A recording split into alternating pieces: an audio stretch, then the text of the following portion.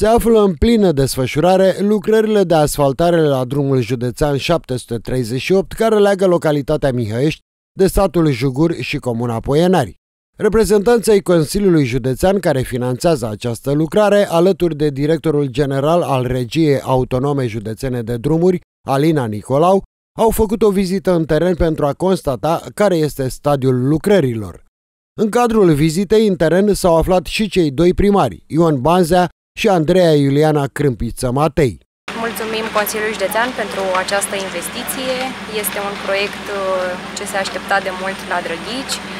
Oamenii sunt foarte încântați că au uh, acum posibilitatea de a călca și pe asfalt aici în Drăghici. Mulțumim regiei județene de drumuri pentru implicare și tuturor factorilor uh, care s-au implicat și care au dat curs acestui proiect de la Drăghici.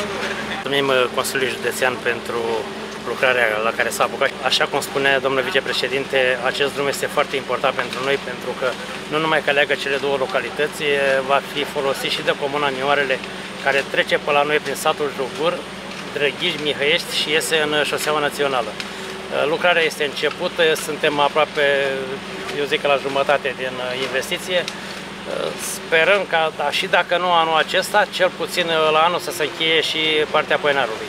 Uh, vreau să liniștesc locuitorii Comunei Poenar că nu rămâne lucrarea la jumătate cum s-a dat zvonurile. Domnul vicepreședinte ne-a confirmat că lucrarea se duce până la capăt.